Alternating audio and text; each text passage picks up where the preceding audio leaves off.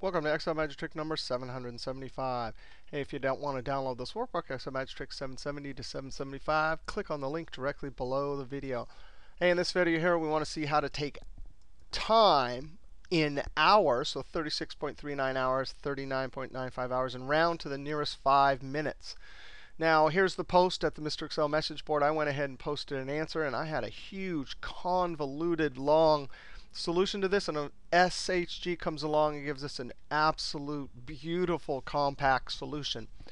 All right, I've done some videos on rounding to the 5 minute.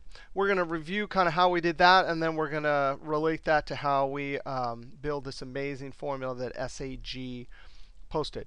Now here's time, 6 a.m., and you can see up here in the formula bar, 6 a.m. in 6 minutes, and this is 6.08. So if we round these to 5 minutes, this should be 6.05, and this should be 6 um, 610.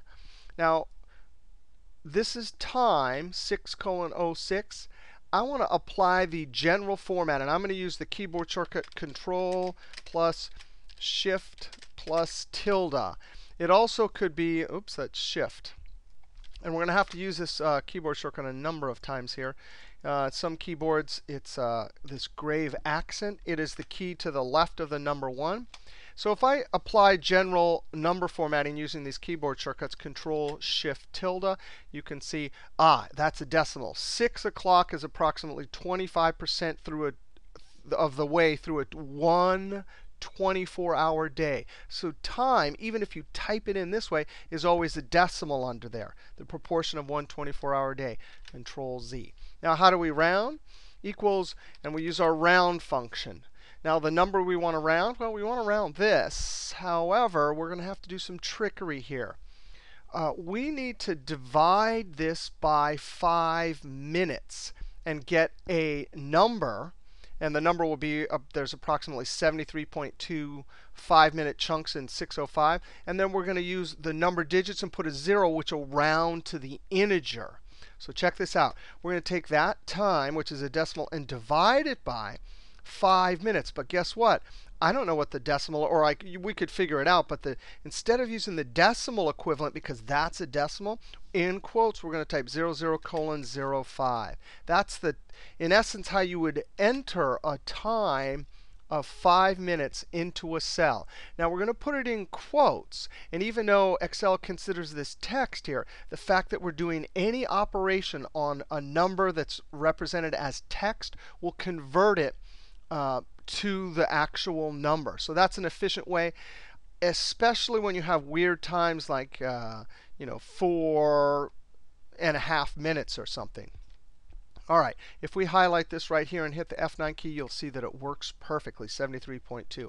Now what do we do? We tell the round function to round it to the integer. Well, 0 tells it to round to the integer. That means the or the dollar if you're using uh, dollar amounts. So you can see we get our answer 73. Well, that's not what we want, so no problem. Now that we have the 73, that's how many 5-minute chunks are in this. We just multiply it. Multiply, and I'm going to do my same trick. In double quote 00 00 colon 05. Now enter this, Control Enter and double click and send it down. So you can see it properly went to 605 here, and here for 608 it went up to 610. Now, round function is great.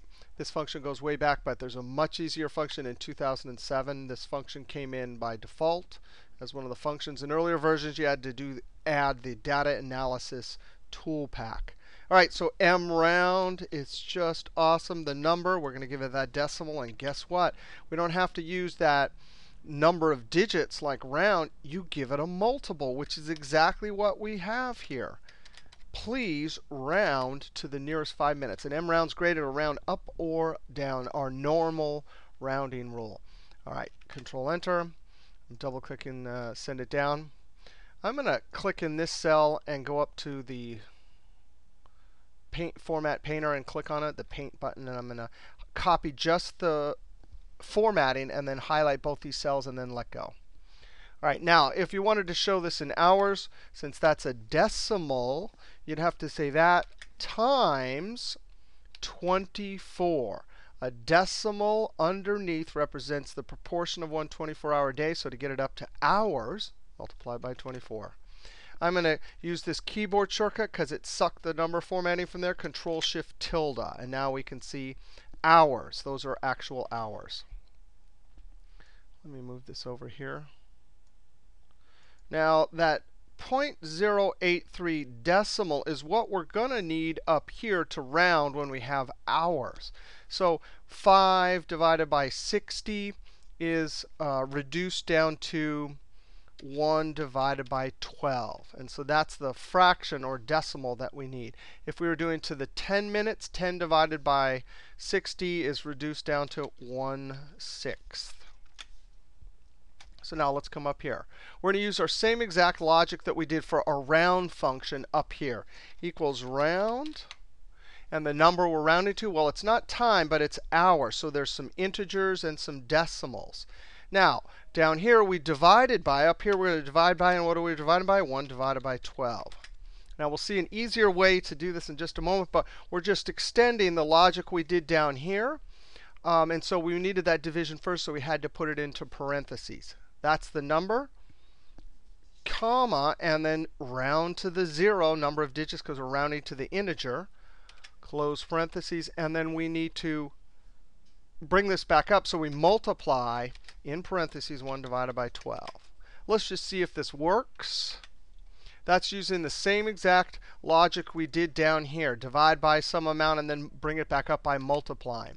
But notice here, we don't really need to do it this way. We can uh, do simple math and reduce this. If we look at this over here, x divided by some division, all we have to do is rewrite that, and we're left with x times 12. In essence, you multiply this division numerator denominator times 12 over 12, and it reduces it down to this. Similarly, some number, we have an x times 1 divided by 12. Well, we don't really need the 1. We just bring the x on top of it, and we're left with x divided by 12. So no problem. We can rewrite this equals round this times 12, comma 0.